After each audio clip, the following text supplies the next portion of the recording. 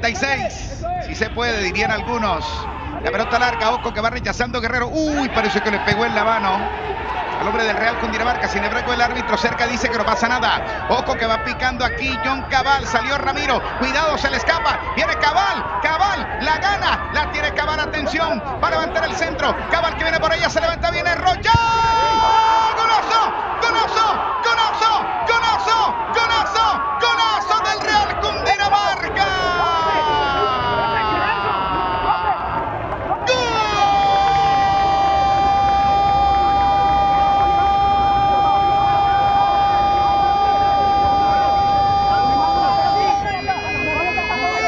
del Real Cundinamarca, señoras y señores. El que llega al final Andrés Rocha de cabeza en 37, 37 minutos en esta primera parte. Están reclamando una falta. Los hombres del Deportes Quindío, pero el árbitro dice, no señores, esto es gol. En 37 minutos, uno tiene Real Cundinamarca, cero tiene el Deportes Quindío. Y en la señal de Buen Sport, en la señal de Wimba Fútbol, el comentario de Juan Pablo Coronado. Bueno, acá revisamos la acción completa. La mano del jugador marcado con la camiseta número 26, Jair Abonía.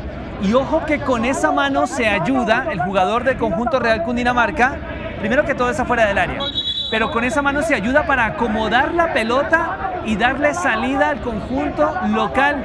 Acá llega una situación en la cual chocan el arquero del conjunto Deportes Quindío con el jugador también defensor del equipo Cuyabro.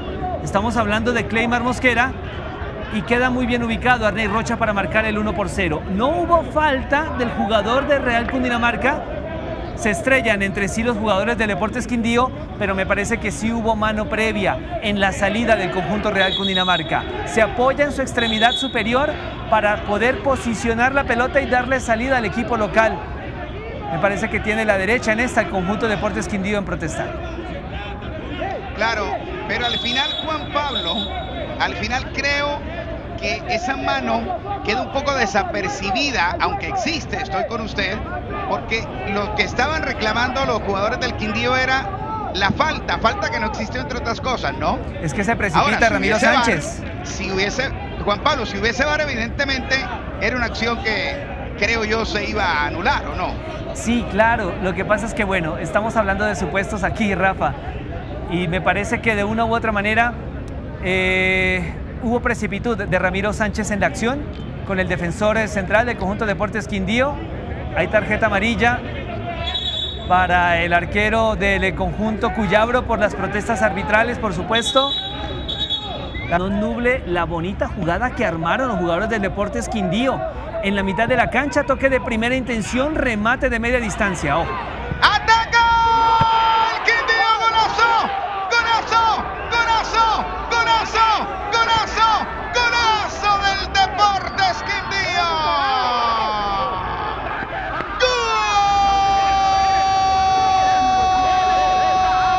¡Gol!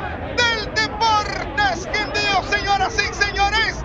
Llega José Hugo Palacios después de un error en la zona defensiva del equipo del Real Cundinamarca en 47 minutos.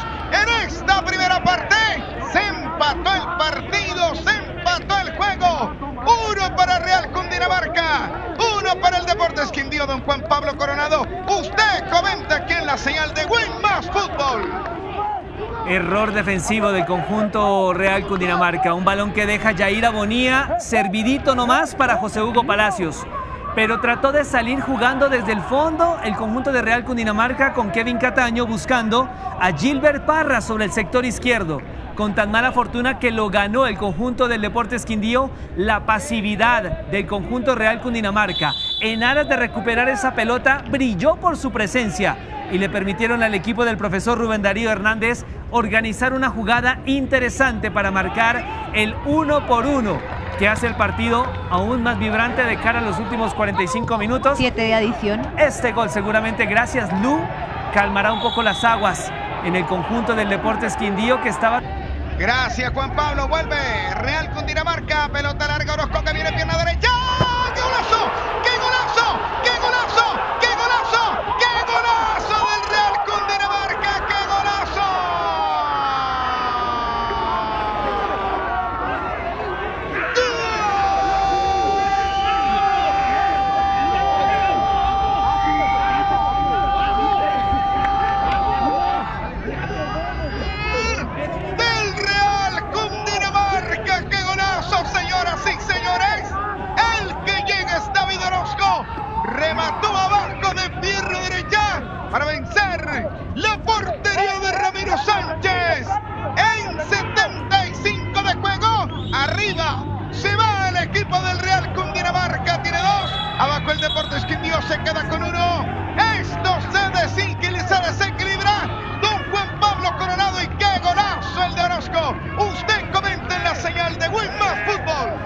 Qué gran asistencia de David Orozco que recibe de Arnei Rocha.